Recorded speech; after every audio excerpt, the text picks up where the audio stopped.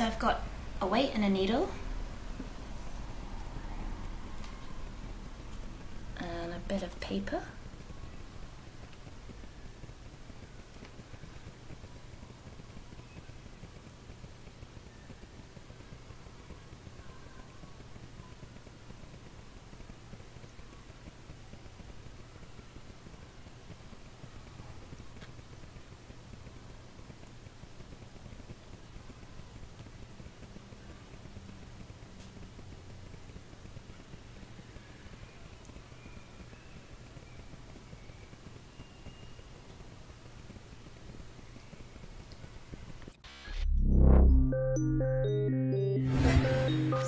What do you think?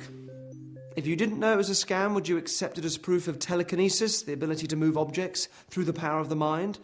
The truth is that it's actually an application of science, and Kat will explain exactly what's going on.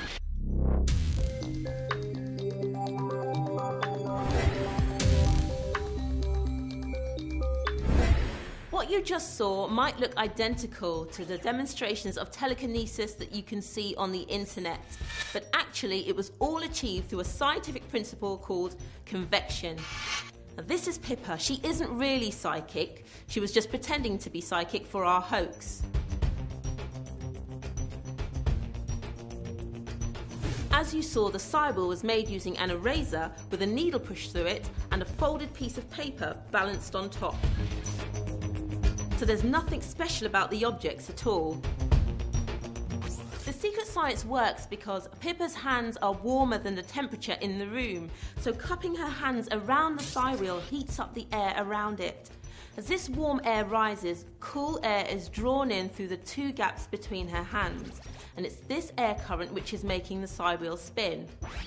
What you didn't see was that in order to make sure there was a temperature difference, Pippa put her hands into some warm water first to make sure they were nice and hot. However, it isn't necessary to do this.